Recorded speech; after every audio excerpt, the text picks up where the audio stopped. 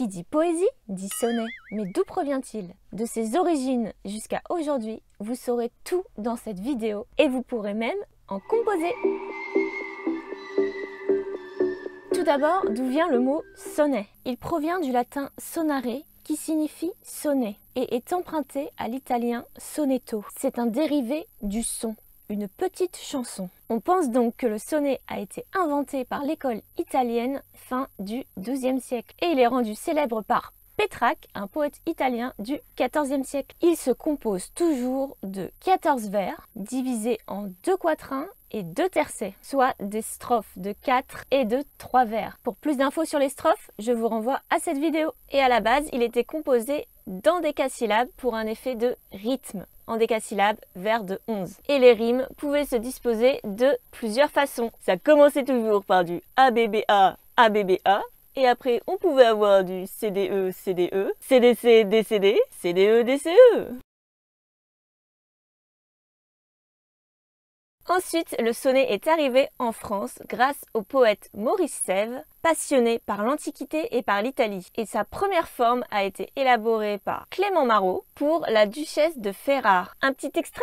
C'est parti. À Madame de Ferrare, me souvenant de tes bontés divines, suis en douleur. Princesse, à ton absence, et si languis qu'ensuite en ta présence, voyant ce lys au milieu des épines. Ô douceur des douceurs féminines, ô cœur sans fiel, Ô race d'excellence, ô traitement rempli de violence qui s'endurcit près des choses bénignes, si seras-tu de la main soutenue de l'Éternel, comme sa chair tenue, et tes nuisants auront honte et reproche. Courage, dame, en l'air je vois la nue, qui ça et là s'écarte et diminue pour faire place au beau temps qui s'approche. Qu'est-ce qui crève les yeux dans ce sonnet? La présence de rimes féminines exclusives, bien sûr Yes Et le schéma diffère de l'école italienne. A, B, B, A, A, B, B, A, C, C, D, E, E, D. Et on est aussi passé dans des syllabes à des décasyllabes. On donnera à cette forme le nom de Marotti, en référence à Clément Marot. S'y oppose alors le sonnet dit régulier, instauré par Jacques Pelletier et la Pléiade. La Pléiade étant le groupe des poètes français du XVIe siècle, soit Jacques Pelletier du Mans, Pierre de Ronsard, Joachim du Bellay, Jean-Antoine de Baïf, Étienne Jodel, Rémi Belot, Jean Dora et Pontus de Thiard. Ouais, il n'y avait pas beaucoup de femmes à cette époque. Ce sonnet régulier comporte alors plusieurs règles, dont un nouveau schéma A, B, B, A, A, B, B, A, C, C, D, E, D, E. Il est écrit en alexandrin ou en décasyllabe et les rimes doivent s'alterner entre masculine et féminine. Un bon exemple est celui que j'ai écrit pour vous dans la vidéo des 1000 abonnés. Vous pouvez la trouver ici.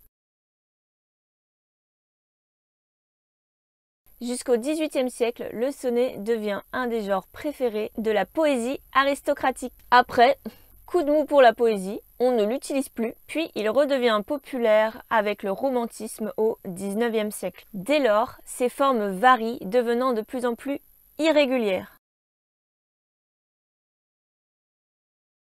Ici, je vous invite à écouter ma vidéo sur Le Dormeur du Val d'Arthur Rimbaud, où vous pourrez constater que cette fois, le schéma des rimes est le suivant.